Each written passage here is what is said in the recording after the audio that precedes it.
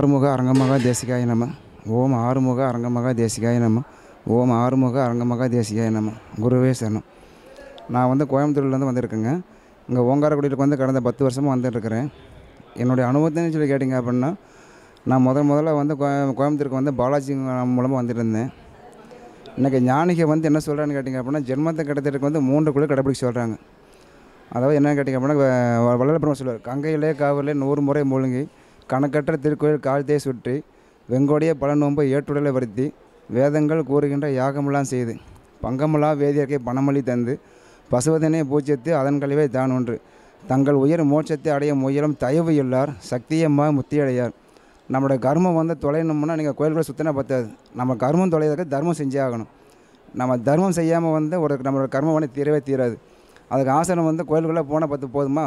போதாது. அங்கே நம்ம நம்ம மேலே ஆசனோட திருவடியை பிடிச்சி அவங்க சொல்கிற வழிபாடு நடந்துட்டு நம்ம ஜென்மத்தை கடத்திட்டு இருக்கலாம். இதுக்கு நிறைய பேர் கோயம்புத்தூர் வந்து முன்னூறு இருக்கிறாங்க எங்கள் அன்பர்கள் நிறைய பேர் இருக்கிறாங்க. இப்போ கோயம்புத்தூரில் வந்து பார்த்திங்கன்னா நாங்கள் வழிபடுற ஒரு கோட்டில் ஒரு அம்மா இருக்கிறாங்க. அந்த அம்மாவுக்கு வந்து பார்த்திங்கன்னா ஒரு கல்யாண்டர் வந்து சொன்னார். அவங்க அண்ணன் தம்பி பிரச்சனையில் வந்து பார்த்திங்க அப்படின்னா அவங்க தவறான முடிவுக்கு போணுச்சு முடிவெடுத்துட்டாங்க.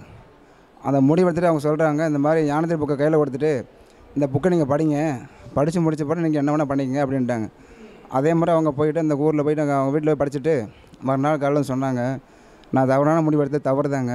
இனிமேல் வந்து நான் அந்த இலைக்கு போகிறதில்ல அப்படின்னு சொல்கிறாங்க அது என்னென்னு கேட்டிங்க அப்படின்னா ஞானத்தில் வந்து நூற்றி முப்பத்தேழு மகன்கள் போட்டி வச்சுருக்காங்க அந்த போட்டித்தொகை நீங்கள் சொல்ல சொல்ல வந்து பார்த்தீங்க அப்படின்னா அவங்களோட மனசுகள் மாறுபடும். சொத்துல ஒரு பெரிய விஷயமே கிடையாது. அவங்க எடுத்த தவறு அவங்க சொத்துக்காக எடுத்த முடிவு வந்து தவறானது அப்படின்னு சொல்லிட்டு மறுநாள் வந்து நல்ல நிலைமைக்கு வந்துட்டாங்க. இன்றைக்கி அவங்க உடலுக்கு வந்துட்டே இருக்கிறாங்க.